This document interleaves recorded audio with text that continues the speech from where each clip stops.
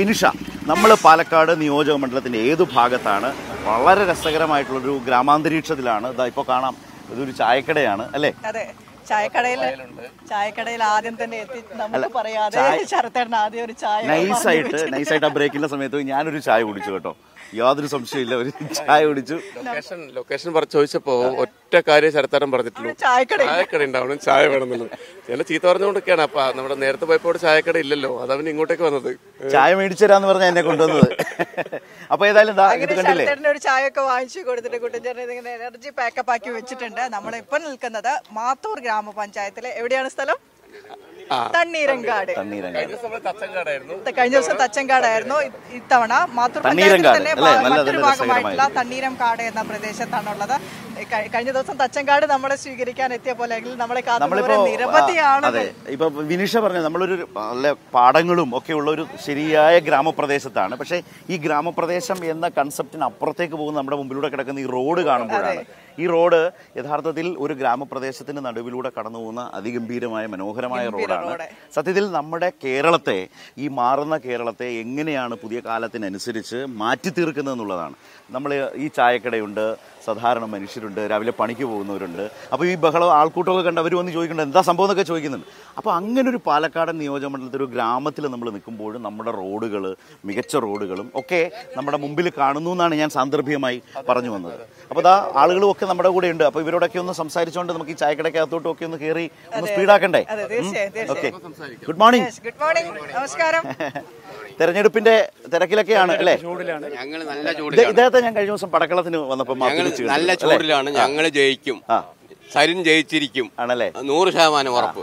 പറയാൻ കാരണം എന്താണ്? പറയാൻ കാരണം ഈ മറ്റുള്ളവര് കളിക്കുന്ന രാഷ്ട്രീയം തിരിച്ചറിഞ്ഞുകൊണ്ടാണ് സരിൻ ഞങ്ങളോടൊപ്പം വന്നത് നമ്മുടെയൊപ്പം വന്നത്. അതുകൊണ്ട് ആ തിരിച്ചറിവിന്റെ ഭാഗമായി വന്ന സരിനെ ഞങ്ങൾ ജയിപ്പിച്ചിരിക്കും സ്ഥാനാർത്ഥി നല്ലൊരു. എനർജിയിലാണെന്ന് തോന്നുന്നു അല്ലേ? സ്ഥാനാർത്ഥി നല്ല ഒരുപാട് സ്ഥാനാർത്ഥികളെ കണ്ടതല്ലേ നല്ലൊരു? എനർജിയുള്ള ആളാണ് നല്ല വിദ്യാഭ്യാസമുള്ള ഒരു സ്ഥാനാർത്ഥി അത് വോട്ടർമാരുടെ ഇടയിൽ പ്രധാനമാണോ? കുതിപ്പിന് അത് വോട്ടർമാരുടെ വോട്ടർമാരുടെ വിദ്യാഭ്യാസം ചർച്ചാ വിഷയമാണ് ഈ പാലക്കാടിന്റെ വികസനത്തിന് കേരളത്തിന്റെ വികസനത്തോടൊപ്പം ഈ വിദ്യാഭ്യാസമുള്ള സ്ഥാനാർത്ഥി കിട്ടുമ്പോൾ നമുക്കൊരു ചുവട് മുന്നോട്ട് ചുറുചുറുക്കുള്ള ചെറുപ്പക്കാരനാണ് വിദ്യാഭ്യാസമുള്ള ചെറുപ്പക്കാരനാണ്. നമ്മുടെ ശബ്ദം നിയമസഭയിൽ പോയി പറയാൻ ഞാൻ ഞാൻ നേരത്തെ ഈ എനർജി കേട്ടോ വിനിഷ എനർജിയെ കുറിച്ച് ചോദിച്ചപ്പോൾ ചേട്ടനാണ് വളരെ സജീവമായിട്ട് പറഞ്ഞത്. എനർജി ഉഷാർ എല്ലാ സ്ഥാനാർത്ഥികളെയും കാട്ടി വളരെ ഒരാൾ ഇതാ കൃഷ്ണകുമാർ. കൃഷ്ണകുമാർ പാലക്കാട്ടുകാരനാണ് നിരന്തരം ഇവിടെ നിങ്ങൾക്ക് അറിയാവുന്ന ആളാണ്. രാഹുൽ മാങ്കൂട്ടം അങ്ങനെ അറിയണം എന്നില്ല പക്ഷേ എങ്കിലും യൂത്ത് കോൺഗ്രസിന്റെ സംസ്ഥാന അധ്യക്ഷൻ. ഈ മൂന്ന് സ്ഥാനാർത്ഥികളെ എന്തുകൊണ്ട്? വിദ്യാഭ്യാസ യോഗ്യത ഉള്ളതുകൊണ്ടും. നന്നായി യുക്തമായി സംസാരിക്കാൻ അറിയുന്ന ഒരു യുക്തമായ ഒരു സ്ഥാനാർത്ഥിയാണ് ശരി അപ്പൊ ഈ ചാനലുകളിലൊക്കെ ഈ സ്ഥാനാർത്ഥികൾ സംസാരിക്കുന്നൊക്കെ കാണാറുണ്ടോ? ശ്രദ്ധിക്കാറുണ്ടോ? അപ്പൊ തോന്നിയത് എന്താ അതന്നെ മറ്റുള്ള സ്ഥാനാർത്ഥികളുടെയൊക്കെ വെച്ച് ശരീരാണ് ഏറ്റവും മുടുക്കൻ. അത് ശരി. മാർക്കിടുക ഒരു നാട്ടിലെ സാധാരണ മനുഷ്യർ നമ്മുടെ മുമ്പിലൂടെ വരുന്ന തെരഞ്ഞെടുപ്പ് വാർത്തകൾ സ്ഥാനാർത്ഥികളുടെ ഈ ഓട്ടപ്പാച്ചിൽ അവർ പറയുന്നത് ഒക്കെ കേട്ടതുകൊണ്ടാണ് ഈ ഉഷാർ എന്നുള്ള വാക്ക്. ശരി. എന്തായാലും സരിൻ ഡോക്ടർ സരിൻ. ബ്രോ എന്തായാലും ജയിച്ചിരിക്കും. നിങ്ങൾ തെരഞ്ഞെടുപ്പ് കാലത്ത് ഇട്ടുകൊടുത്ത പേരാണ് സരിൻ ബ്രോ. സരിൻ ബ്രോ. അതെ. അപ്പൊ പ്രായഭേദമന്യേ. പ്രായഭേദമന്യേ. ഞങ്ങൾ ഞാൻ കോട്ടമൈതാനത്ത് വെച്ച് അദ്ദേഹമായിട്ട് കുട്ടനുണ്ടെന്ന് സംസാരിച്ചപ്പോ സരിൻ ബ്രോ എന്ന് പറഞ്ഞപ്പോഴത്തേക്ക് പറഞ്ഞേ ശരത്തെ വേറൊന്നുമല്ല കേട്ടോ പണ്ട് കാലത്ത് നമ്മൾ അളിയാന്ന് അതെ. അതിന്റെ പുതിയ കാലത്തെ പുതിയ ജനറേഷന്റെ ചുരുക്കപ്പേരായിട്ടേ ഉള്ളൂ അല്ലേ? സരിൻ ബ്രോ. സരിൻ ബ്രോ ഈ പ്രാവശ്യം എന്തായാലും ഞങ്ങൾ ഈ പാലക്കാട് നിയോജക മണ്ഡലം എൽ ഡി എഫ് പിടിച്ചിരിക്കും. പക്ഷെ അത് പറയുമ്പോഴേ ഇപ്പൊ ഷാഫി എത്രയോ കാലമായിട്ട് ഇവിടെ എം എൽ എ ആണ്. ഷാഫി പോയി പകരം രാഹുൽ മാങ്കൂട്ടം വരുമ്പോൾ ഷാ ചേർന്ന് നിൽക്കും നമുക്ക്. അപ്പോൾ ഷാഫി പറയാണ് ദാ എനിക്ക് വേണ്ടി ഇത്തവണ ഒരു വോട്ട് രാഹുൽ മാങ്കൂട്ടത്തിന് നൽകണം എന്ന് പറഞ്ഞാൽ പാലക്കാട്ടേര് പാലക്കാട്ടുകാർ കേൾക്കില്ലെന്നാണോ? കേൾക്കില്ല. എന്തുകൊണ്ട്? എന്തോ ചോദിച്ചാൽ ഷാഫി ഈ മണ്ഡലത്തെ വഞ്ചിച്ചുകൊണ്ട് പാർലമെന്റ് മണ്ഡലമായ വടകരയ്ക്ക് പോയിരിക്കുകയാണ്. അതപ്പോ അവരുടെ പാർട്ടിയുടെ അത് തീരുമാനമല്ലേ ഇവിടെ ഒരു ബൈ ഇലക്ഷൻ അടിച്ചേൽപ്പിച്ചിട്ട് പോകേണ്ട കാര്യമില്ല. ഈ വലിയ ബൈ ഇലക്ഷൻ വന്നത് തന്നെ ജനങ്ങൾക്ക് ഒരു ബുദ്ധിമുട്ടുണ്ടാക്കുന്ന ഇതാണ് ഇത് നിലവിലൊരു എം ആണ് ഇവിടുത്തെ. ഇവിടുത്തെ എം ആണ്. എം അല്ലേ എം എൽ എ ആണ്. ആ എം എൽ എ ഇവിടുത്തെ ഈ സ്ഥാനം രാജിവെച്ച് വടകരിക്ക് പോകേണ്ട കാര്യമില്ല. അവിടെ അവിടെ സ്ഥാനാർത്ഥികളുണ്ടല്ലോ. ഇവിടുത്തെ വോട്ടർമാർക്ക് ഒരു ഭാരം അടിച്ചേൽപ്പിച്ചുകൊണ്ടാണ് വടകരിക്ക് പോയത്. അതുകൊണ്ട് പ്രത്യേകിച്ച് ജനങ്ങൾക്കിടയിൽ ഒരു സംസാര വിഷയമുണ്ട്. ഇത്രയും വോട്ടിന് ജയിച്ച ഒരാൾ പിന്നെയും ഞങ്ങൾക്ക് ഈ ബുദ്ധിമുട്ടുണ്ടാക്കുന്ന ഒരു തീരുമാനത്തിൽ കോൺഗ്രസിനോട് അതൃപ്തിയുള്ള വോട്ടർമാർ ഈ പ്രാവശ്യം എന്തായാലും ഡോക്ടർ സരിൻ ബ്രോയൊക്കെ വോട്ട് ചെയ്ത് ചർച്ചയാവുന്നുണ്ട് ചർച്ചയാവുന്നുണ്ട് പോയതൊക്കെ ചർച്ച വരുന്നുണ്ടോ? ചർച്ചയാവുന്നുണ്ട് തർക്കമൊന്നുമില്ല. പിന്നെ നമ്മുടെ ഗവൺമെന്റ് എൽ ഡി എഫ് ഗവൺമെന്റിന്റെ വികസന പ്രവർത്തനങ്ങൾ ഒട്ടനവധിയുണ്ട് ഉണ്ട്. നല്ല റോഡാണല്ലോ ഇത് ഇത്. എങ്ങോട്ടേക്ക് പോകുന്ന റോഡാ ഇത്? ഇത് കോട്ടായി കോട്ടായി തിരുവില്ലാമല തിരുവില്ലാമല അല്ലേ? ആ ആ. ഓ വലിയ പി ഡബ്ല്യു ഡി റോഡാണ് അല്ലേ?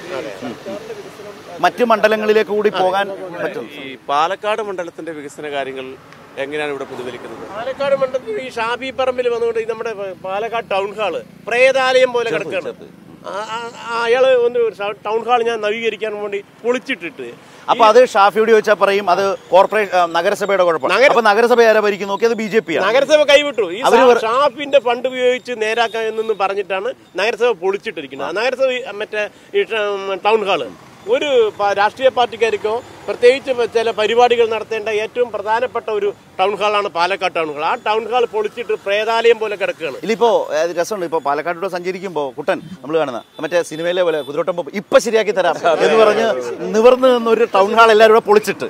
പൊളിച്ചിട്ട് ഇപ്പൊ വർഷങ്ങളായി. ഇതിലിപ്പോ. ഷാഫി പറമ്പിൽ അവർ കുത്തക മണ്ഡലമായിട്ട് പത്ത് പതിനഞ്ച് മൂന്ന് നാല് വട്ടമായി അവർ ഇതിന്റെ തുരുപ്പ് കൂലാൻ ഇറങ്ങിയിട്ടുണ്ട് ഡോക്ടർ സെരീം ബ്രോ. അതാണ് അതിലെ കലക്കം വാക്കാണ്. തുറുപ്പുകുലാൻ. ഈ ഗുലാൻ പൊളിച്ചെടുക്കും. ഗുലാൻ അത്ര ശക്തി ഉണ്ടെന്നാണോ ഉണ്ടെന്ന് ഞാൻ പറയുന്നത്. ആ ചങ്ങായി ആ ചങ്ങായി നിങ്ങൾ കോൺഗ്രസിന്റെ ഈ യു ഡി എഫിന്റെ വോട്ടുകൾ അവൻ വാങ്ങിച്ചിരിക്കും. ഈ ശരീരം വാങ്ങിച്ചിരിക്കും. പിന്നെ നമ്മളുടെ വോട്ടും. ഞങ്ങൾ എൽ ഡി എഫിന്റെ വോട്ടും. ഏഹ് തരിപ്പണമായി കൈ കൊടുക്കും. ഈ അപ്പോൾ ഞാൻ ഞാൻ തുറന്നു തുറന്നങ്ങ് ചോദിക്കാം. അപ്പൊ ഇടതുപക്ഷത്തിന്റെ വോട്ടൊക്കെ കൃത്യമായിട്ട് വീഴും എല്ലാം വീഴും. വീഴും. നൂറ് ശതമാനം വീഴും എന്നുള്ളതാണ് നമ്മുടെ ഒരു- ഈ നാട്ടിലൊക്കെ ഇറങ്ങുമ്പോൾ നിങ്ങൾക്ക് കിട്ടുന്ന ഒരു ഒരു അനുഭവം എന്താണ്? നല്ല അനുഭവമാണ്. നല്ല നല്ല ക്ലാരിറ്റിയാണ് നല്ല ക്ലാരിറ്റി നിങ്ങളോട് നാട്ടുകാർ അത് ഇയാൾ മറ്റേ സരിൻ ഡോക്ടർ സരിൻ അടക്കം നല്ല ക്ലാരിറ്റി ആയിട്ട് വർക്കിംഗ് ആണ്. ഇവിടെ ഇവിടെ വന്നിരുന്നോ? ദേശാഭിമാനി അടക്കം തുറന്നു നോക്കിയാൽ ആവേശം വരുന്ന കൂട്ടത്തിലാണ് ഞാൻ ഇന്നിപ്പോ ഇന്നിപ്പോ രാവിലെ ഇന്നിപ്പോ- രാവിലെ അയൽവാസികളൊക്കെ എന്താ പറയുന്നത്? സ്ഥാനാർത്ഥി നല്ല സ്ഥാനാർത്ഥിയാണ്. ഇന്നിപ്പോ രാഹുൽ രാവിലെ ഇവിടെ പേര്. ഉച്ചയ്ക്ക് ശേഷം ഭക്ഷണം കഴിക്കുന്ന ഇയാളുടെ വീട്ടിലാണ് അയാളുടെ വീട്ടിലാണ്. ഏഹ് ആ മഞ്ഞ ഷർട്ടിന്റെ വീട്ടിലാണ്. അപ്പൊ അതുകൊണ്ട് ഇറങ്ങിയിരിക്കുന്നത് ഗുലാനാണ്. മമ്മൂട്ടിയുടെ മമ്മൂട്ടിയുടെ സിനിമയുടെ പേര് കൂടി തുറുപ്പുകുലാൻ അതൊരു പുതിയ പ്രയോഗമാണ്. സരിൻ റോയ്ക്ക് മാത്തൂരിൽ ഈ സ്ഥലത്തിന്റെ പേര് പറഞ്ഞത്? തണ്ണീരങ്കാട്ടിൽ ഇട്ട പേരാണ് തുറുപ്പുകുലാൻ തുറുപ്പുകുലാൻ അതായത് ഷാഫിക്കും സതീശനും തുറുപ്പ് തുറുപ്പ് ഇറക്കിയിരിക്കുന്ന തുറുപ്പുകുലാൻ? ചീട്ടുകളി അറിയോ? പറഞ്ഞു വെച്ച് കുഴപ്പമൊന്നുമില്ല. കുറച്ചൊക്കെ? അപ്പൊ ഈ തുറുപ്പൂലാന്റെ ശക്തി എന്താ? ഈ തുറുപ്പൂലാന്റെ ശക്തി. എന്താ? തുറുപ്പൂലാന്റെ ചീട്ടുകളിയിലെ പ്രാധാന്യം എന്താ? കാണിച്ച ജയിക്കും. ചീട്ടുകളി അറിയാവുന്ന മിനിഷയോട് ചോദിക്കാതെ നമ്മൾ ചേട്ടനോട് ചോദിച്ചു വെച്ചില്ലേ ഡോക്ടർ സെരിൻ ബ്രോന്റെ ഇങ്ങോട്ട് ഇത് വിഷമിച്ച് ആലോചിച്ച് ആ പിന്നെ? അല്ല ഞാൻ നോക്കുമ്പോ ഒരാൾ മാത്രം ഒറ്റയ്ക്ക് ഇങ്ങനെ നിൽക്കുന്നു തുർപ്പൂലാനെ കുറിച്ചാണോ അല്ലേ ഏഹ് അപ്പൊ എന്താ തോന്നിയേ? നൂറിലെ നൂറും പുര ജയിക്കും. അത് ശരി. അപ്പൊ പിന്നെ മറ്റുള്ളവർ മത്സരിക്കണ്ടല്ലോ അങ്ങനെയാണ് അവർ പറയണ ഞങ്ങളുടെ മണ്ഡലം. ഇല്ലേ സാപ്പി വെറും ഒരു എന്താ പറയാ ഒരു കളിമീനെ പോലെയാണ് ഇവിടെ. കളിമീൻ. കളിമീൻ കുളത്തിലെ കളിമീൻ ഈ വരാലോ? അത് ഞങ്ങളുടെ നാട്ടിൽ ബ്രാൽ വരാലെന്നൊക്കെ പറയുന്നത് ആൾക്കാരുടെ ഒരു ഷോ കാണിച്ചിട്ട് ഇവിടെ ഒരു ജാതി മാനസിക പ്രശ്നം ഉണ്ടാക്കിയിട്ട് പോവാണ്. അതിന് തിരുത്തി കുറിക്കുന്നുള്ളതാണ് ഈ എന്റെ പ്രാവശ്യം ഏട്ടാ എന്നിട്ട് ജയിപ്പിച്ചില്ലേ പാലക്കാട്? നിങ്ങൾ പറയുന്നു ഷോ ഷോ ഏ? കഴിഞ്ഞ തവണ. അതെ. ആയിരത്തി അഞ്ഞൂറ് വോട്ട് മറച്ചു പിടിച്ചാൽ ജയിക്കുമല്ലോ. അപ്പൊ ജയിക്കുന്നുള്ളതാണ് ഉറപ്പാണ്. അത് ശരി. അപ്പോ തുറുപ്പുകുലാൻ കളിമീൻ. കളിമീൻ അല്ലേ?